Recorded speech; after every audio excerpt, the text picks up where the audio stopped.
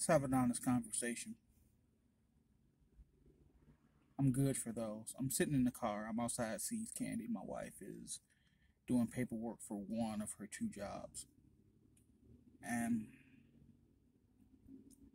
my armor came today. The same armor that I ordered two years ago, and it came back trash in February of this year. So we ordered another one from somebody else. We took a gamble, a shot, sent off another fuck ton of money. It's here. It came. Looks good. I personally could stand to lose 10 pounds. But it's dope.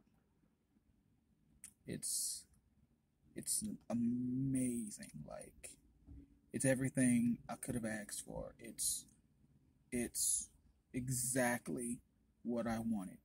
When I ordered two years ago, when I remember we didn't know what was going on or where how things were going to work out. And I went all the way down to Asia's job. She was working downtown at EDD at the time.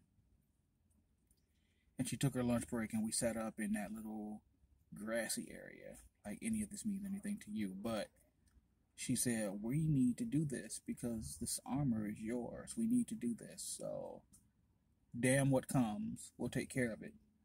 And we did. We ordered it from Oscar. I've been trying not to call him out by name, but I will now because fuck that. Dude was standing next to Tommy Oliver. I thought he was the guy. He was not the guy. Not the guy at all. So I went to the place that people told me I shouldn't go. And they've, in spades, more than I could have asked for. I'm genuinely moved by the level of quality. This this this leather tight suit that they gave me that I squeezed my fat ass into.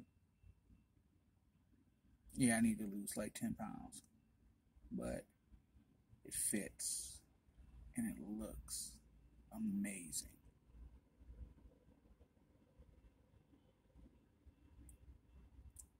I'm happy. I'm happy. But but this is what stoicism gets you. This is this is the result of trained stoicism. I had been moving through life with the idea that me getting the armor was a foregone conclusion. I I was born for this. I've told my wife jokingly, and now that it's here, I wonder how much I mean it. I'm going to settle on it. Bury me in the suit. Like, I'm not going to get buried, but like, put me in my suit, gear me up, cremate me. Cremate me in my suit.